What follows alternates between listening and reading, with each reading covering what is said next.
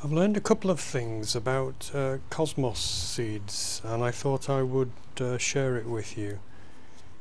Um, as you can see we use um, soil blocks for seeds that are small enough, large ones we do uh, other ways but for small seeds um, we use um, soil blocks in most cases just it's convenient, it's uh, monitor monitorable and uh, it's just the way we like to do things. We don't have vast quantities of any one plant, so so this works well for us. And uh, about a month ago, I started the uh, uh, Cosmos seeds off. Cosmos are a uh, annual, uh, and they are not hardy, so that they can't be exposed to frost. So we get them started around about um, um, uh, the beginning of April so that in the protected environment here in the germination room and uh, and uh, they remain there until they can be planted out which is around about the middle of May.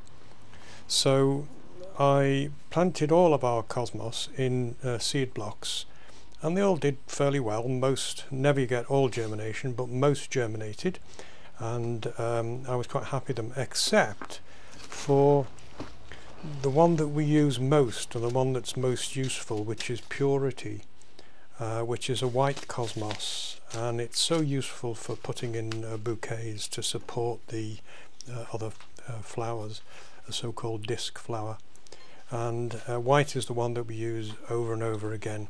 The others are uh, colored and are interesting and um, we've got double ones this year double click. And um, and they all they're pretty good support uh, flowers. And they uh, if you treat them well and have them in the right conditions then they'll flower nicely for you. They do get upset if you uh, treat them badly crowd them or uh, something like this. So uh, so we just grow cosmos in the ordinary way every year I started Purity uh, off first of all in blocks on the 1st of April and uh, I put 40 in blocks and not a single one of them germinated. The rest of the uh, uh, varieties uh, did fairly well. And here they are in the cold frame uh, just um, settling down nicely and are about to be planted out in the next week or so. But there's no purity and in an effort to get things going I put some more in, this time 80 uh, uh, on the uh, 16th of April, two weeks later. And once again, none germinated. So all the others are doing great and our poor Purity, which is the one we really want most, um, is doing absolutely nothing. And uh, my conclusion, because everything else was the same for all the varieties, was that the seeds were no good. So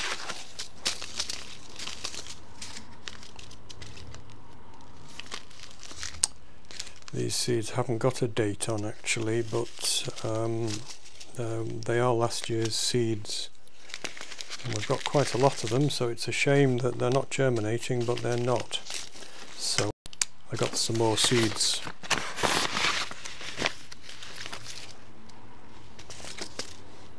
And, uh,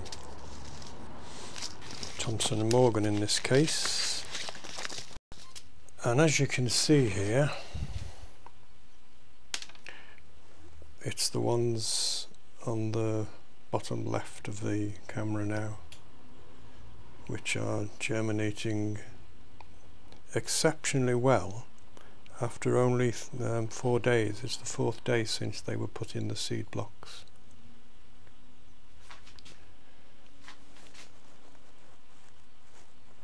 These ones here. So well over half of those are germinating and uh, well in the process now of uh, germinating so I'm expecting some more. So the first lesson uh, was uh, uh, today I've learned is that be careful using last year's seed because you may not get germination and it's important that your timing is, is spot on you don't want to waste two weeks waiting for seeds which are not going to germinate then uh, buy new seeds every year. That's expensive and we don't do that and most times we get away with using seeds for a few years. Sometimes they have uh, a use by date on, sometimes they don't. Um, but I've learned uh, today that, sorry, I've learned this time that Cosmos Purity are, um, uh, if anything, quite um, sensitive. So let's look at some Cosmos seeds and I'll tell you the second thing I've learned today.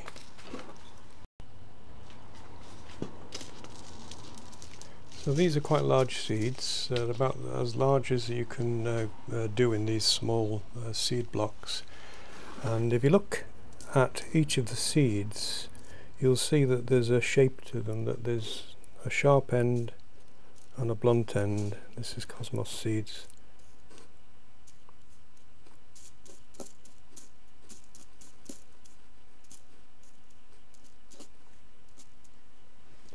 if we can see that sharp end blunt end sharp end blunt end sharp end blunt end sharp end blunt end so the question arises which way around do they go? If you're going to insert them into uh, the soil there's an upside and a downside. And which is which? And I've learned by having a look at these um, germinating seeds closely that in fact it's the uh, the uh, seed germination will occur from the blunt end. Uh, as you know the root comes out first the, the radicle comes out uh, first and uh, and it comes out from the blunt end. And therefore if you are inserting your seeds into the soil carefully rather than just laying them on I've got the blunt end forwards. And I would insert it in like so. It does make a bit of a difference because it gives the seed a better chance of uh, doing what it needs to do which is to germinate. As you know from your biology days there's two sorts of seed germination um, hypogeal and epigeal and if we just have a very close look at some of these uh, seedlings which are developing we'll we'll um, uh, we'll decide whether we've got uh, which sort of germination and also it'll tell us which way round the seed should have gone. So just in this one field of view we've got seedlings at different stages of development so it's interesting to me and I hope to you to have a look and see what's going on. If we look at this one you can see, I hope you can see that the tip of the pencil is now pointing at the uh, root, the radicle and you can see the uh, white furry um, end uh, to that um, projection. Those are the root hairs which are uh, uh, developing, so they're absorbing water at the moment. So the whole of this structure here, the green structure, is the radicle is the root. And you can see at the end hopefully you can see that the seed head is is is there. You can just see the side of the seed head. If we look over at this. Sorry there's there's the seed head. There's the seed head on this more developed shoot.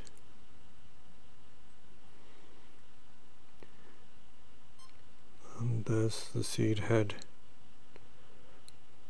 So there's the seed head on this slightly less developed. So the seed head is being lifted up it's being lifted up out of the soil uh, by the uh, root which is increasing in size rapidly so the root the radicle um, here is is is is shooting up and is lifting the seed, um, the remains of the seed, high into the air.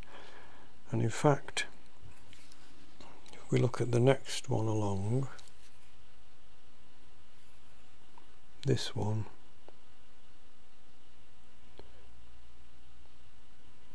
you can see that there's the beginnings of leaves forming there. So the seed head is covering over the developing uh, cotyledonous seeds, those uh, sorry cotyledonous leaves. Those are the first leaves that are uh, that the that the plant will produce.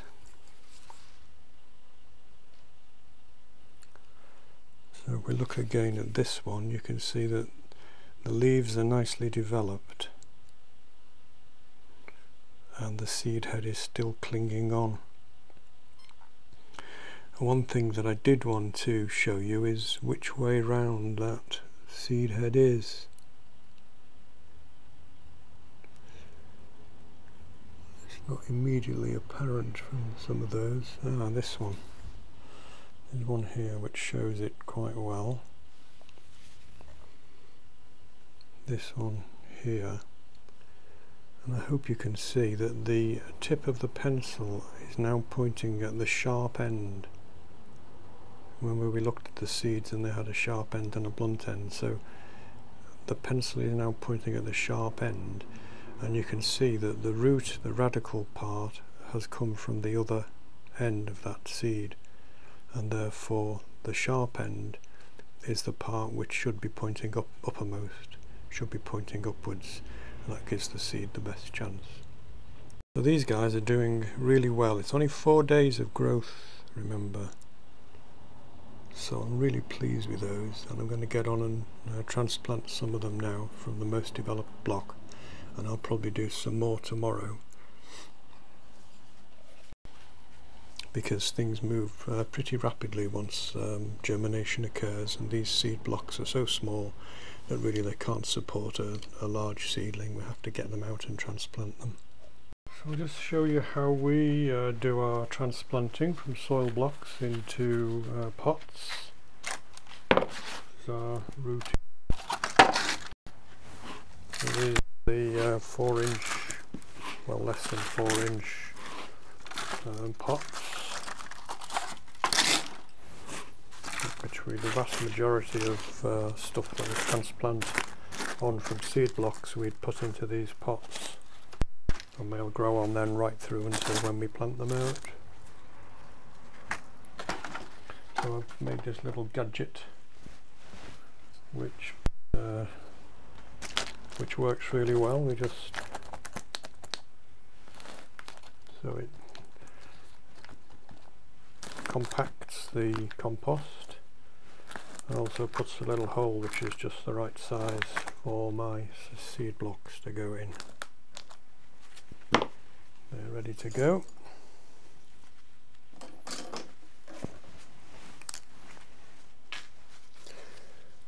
And I'm going to do just this block here because it's the one with the most advanced seedlings.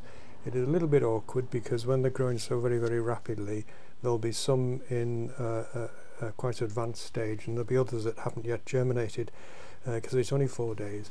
And therefore um, uh, when I'm doing this I'm going to leave some blocks um, behind.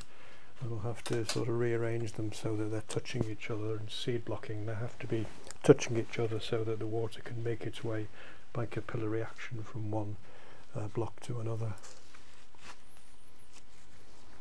So let's go for it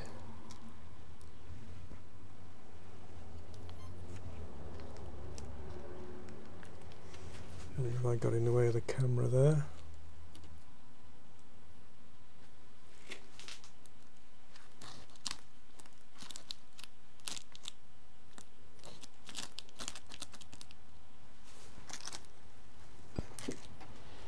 That was not a good demonstration, so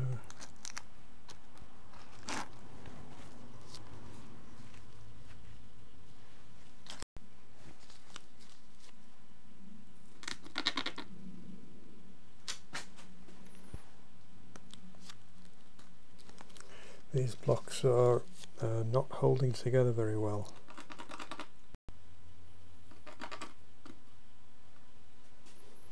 You can see how long the roots have got in just that four days.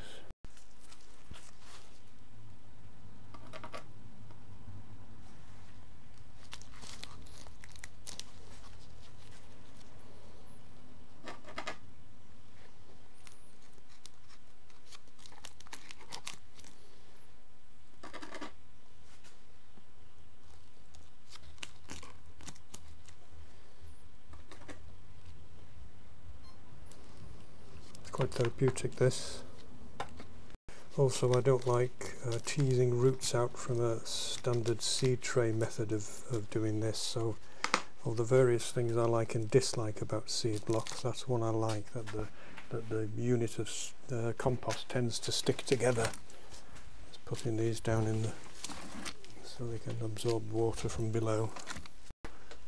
So there we are, we've got them just stood in about uh, inch and a half of water and they'll go in there for about um, five ten minutes so that they can absorb water from below. And so we've now got a, a decimated uh, soil block out of the 20 blocks that were originally um, placed there. We've got a, a germination of um, 16 and we've now oh sorry there's another one here which is germinating which I didn't take so what I would routinely do now is try to get the blocks to coalesce back together again so that they're touching and that, that way they can continue on with uh, the germination process. Very rapid germination here after only four days so normally we're doing this after a week, maybe two weeks. And I'm just pushing those two blocks together in fact these are the same seedlings so I can join them onto that block.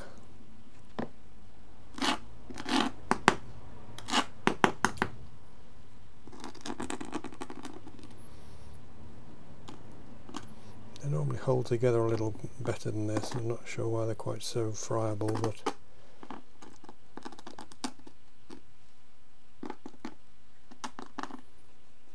so there's a back bedded in again comfortably. We'll put those back on the heat mats and they can carry on doing the business.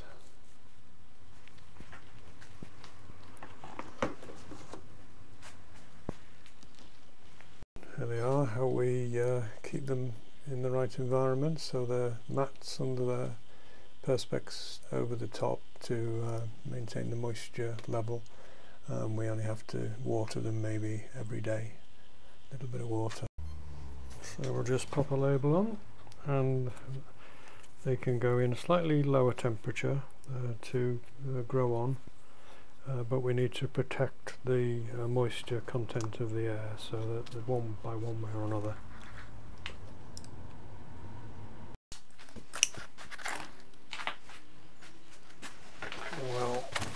on the growing on shelf.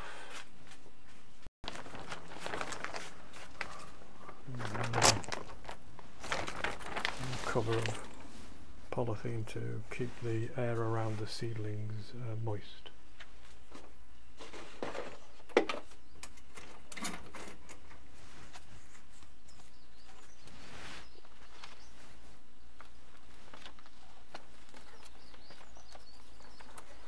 to make like a little tent.